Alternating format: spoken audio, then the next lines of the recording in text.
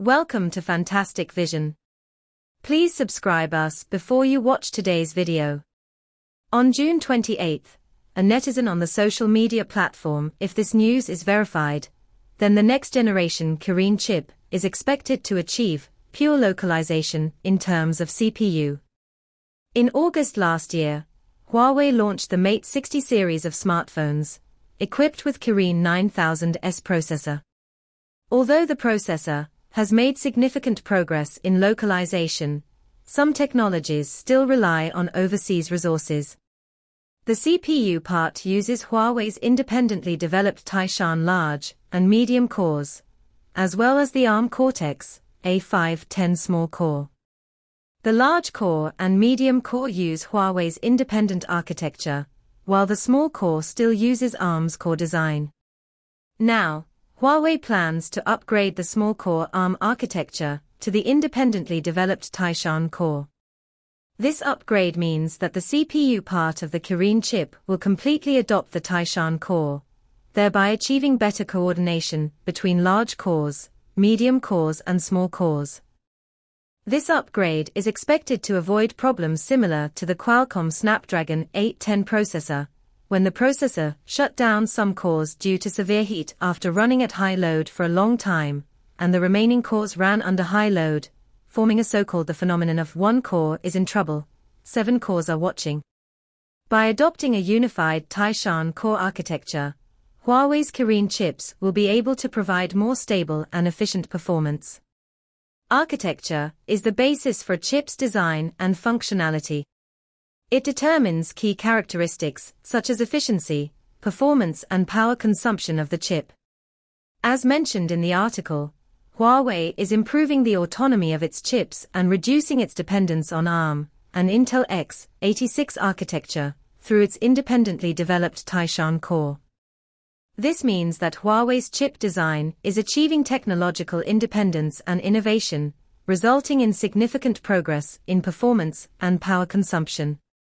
According to media reports, the Taishan small core performed well in the Geekbench 5 test, with a single core score of 350 points, a 75% improvement compared to the ARM public version of the small core. This progress heralds a significant improvement in CPU performance of Huawei's next-generation Kirin chip, and the Mate 70 series of mobile phones may be the first to be equipped with this chip. Facing the challenges brought by the expiration of Intel's supply license, Huawei is solving the coreless availability problem of PC products through independent research and development. There are rumors in the market that Huawei is developing a PC chip based on the Taishan core. The performance will be comparable to Apple M3 and integrate more AI functions to meet the needs of the AI era. The autonomy of Huawei's chips is constantly increasing, and architectural independence is an important symbol of its technological progress. In the future, Huawei is expected to further reduce its reliance on external architecture and achieve more comprehensive technological independence. The core of chip design lies in the architecture, which determines the overall structure and organization of the chip, involving effective planning and organization of functions, performance, power consumption, layout and connections. Architecture directly affects the ease, cost, power consumption, and market competitiveness of chip design. Chip architecture includes hardware architecture, and software architecture. The hardware architecture involves the processor core, cache, memory, input and output interfaces, etc., while the software architecture includes the operating system, programming model, instruction set, etc. The global chip architecture market is mainly controlled by two major companies, ARM and Intel. ARM's reduced instruction set architecture has simple functions, few execution cycles, and low energy consumption, making it very suitable for mobile devices and embedded devices. Currently, more than a quarter of the world's electronic devices use ARM technology, and the proportion of smartphones is as high as over 95%. Intel's x86 architecture is a complex instruction set with strong performance and stability, but it consumes a lot of energy, and is more suitable for desktop computers, and supercomputers. In the PC and server market, the x86 architecture has a market share of 91%, the ARM architecture accounts for 8%, and domestic architectures, such as Loongson and Sunway, as well as domestic RISC-V chips, have a market share of less than 1%. The global chip architecture market is monopolized by ARM and Intel. RISC-V is an open source and free architecture, originated from the University of California, Berkeley, and controlled by the RISC Open Source Foundation. The RISC Open Source Foundation emphasizes the free and open source nature of RISC-V, which is not restricted by any country or individual. However, with the development of RISC-V, whether it can maintain its open source and free features is still a question. Therefore, independent research and development is the key, the key to the future, survival of domestic chips, and the courage for China to say no in the face of injustice. Huawei has made significant progress in the field of chip architecture, successfully getting rid of its dependence on ARM architecture, and independently developed the CPU instruction set Lingxi. This not only solves the problem of chip architecture, but also combines with Huawei's independently developed Hongmeng operating system to demonstrate strong autonomy. Even if ARM does not license the latest V9 architecture, and Intel does not license the x86 architecture, Huawei can still continue to develop chips and continuously improve its autonomy while developing new technologies, such as hyperthreading technology on the mobile side. In the field of GPU, Huawei has the Ascend series of chips, in terms of 5G baseband, it has the Balong series, in terms of base station chips, it has the Tiangang series, these product lines have enriched Huawei's technical reserves and enhanced its competitiveness in the chip market. Alibaba has also achieved rapid development in the RISC-V architecture, launching products such as the Xuantie series and the Wujian series, further promoting the progress of domestic chip technology. Loongson Zhongke continues to make efforts in the field of computer CPU and server CPU.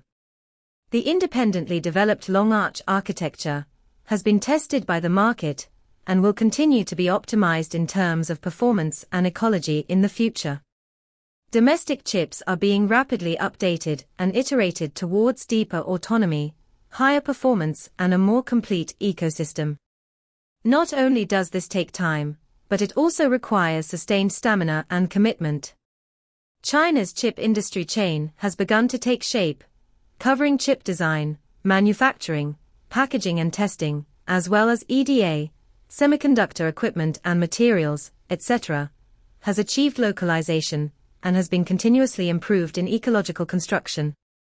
With the continuous advancement of domestic chip technology and the maturity of the industrial chain, it is expected that a Chinese chip industry chain will be formed in the future that is comparable to the Western chip industry chain, bringing new competitiveness to the global chip market. Indeed, the development of domestic chips cannot be expected to happen overnight. As you mentioned, Intel in the United States has developed for 56 years, since its establishment in 1968. ARM also has a history of more than 30 years, and ASML has 40 years of development experience. The long-term accumulation and continuous innovation of these companies have established their leading position in the chip industry. In contrast, domestic chip companies such as Loongson, Huawei HiSilicon, Shanghai Microelectronics, BGI Jiutian, etc. were mostly established after 2000 and have a relatively short development time, with only about 20 years of history. It is undoubtedly an arduous task to surpass these established companies in a short period of time. In addition, overseas chip companies have first mover advantages in patents, technology, components and equipment, setting a higher threshold. At the same time, they also use various means to block and suppress domestic chips, making the development environment for domestic chips even more severe. Therefore, the development of domestic chips requires a marathon strategy, that is, through continuous efforts and accumulation, we will gradually lay a solid foundation and move forward step by step. Although this steady development approach may take longer, it is more conducive to achieving long-term and sustainable transcendence. As a leader in domestic chips, Huawei has set an example in this regard. Through independently developed chip architecture, instruction sets and operating systems, Huawei has not only improved its competitiveness, but also established confidence in other domestic chip companies, bringing hope to the development of the entire domestic chip industry. In short, the development of domestic chips requires patience and perseverance. Through continuous technological innovation and accumulation, we can gradually narrow the gap with the international advanced level and finally achieve transcendence. Thumbs up if you agree.